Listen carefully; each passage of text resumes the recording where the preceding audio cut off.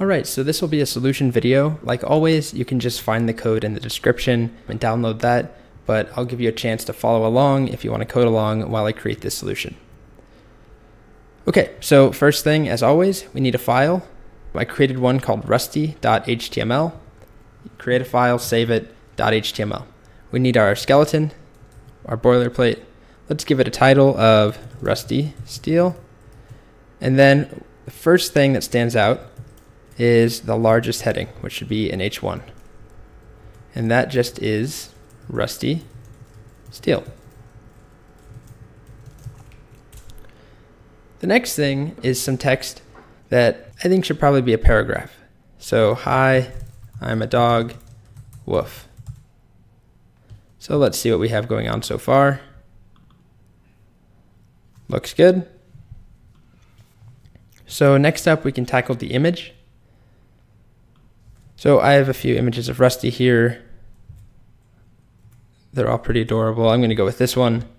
So I'm going to copy the image URL. Uh, in case you didn't know about that, right click, copy image URL. You'll be doing that a lot anytime you want to use an image in your HTML. So we need an image tag. We set the source equal to that URL. Remember, there's no closing image tag, just self-closing image source equals something. Let's take a look. Okay, so far so good. Let's go ahead and add in some of my favorite places. So let's go with an H4 to start.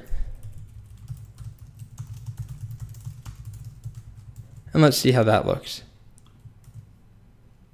Mm, that looks a little bit small. So that might be an H3. And this really isn't the point of the exercise, so you don't have to spend too much time. Okay, there we go, it's an H3. It's really more just identifying that something is a heading, not so much matching exactly the size, because we can use CSS later on to specify, you know, it's not like there's only six sizes of, of headings. There are six different headings, but we can style any of them to be 50 pixel font size, 51, 52, 100, 200, 300, 70. Like we can do whatever we want style wise, but there are just six elements. So again, we're not really working with any style yet. So if we want it to be exact, this is an H3.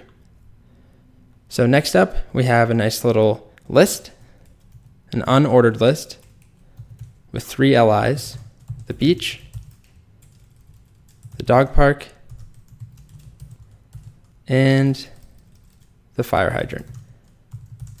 These actually are his favorite places in order. So maybe this should have been an ordered list rather than an unordered list, but that's for another day.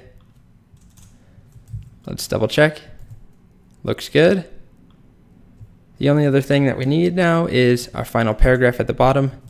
Make sure to follow me on and then an A tag. Inside that A tag, we want Instagram.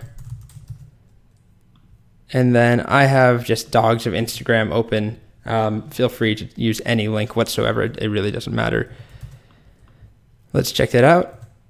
Make sure to follow me on Instagram. Um, it is purple because I've been to this link before.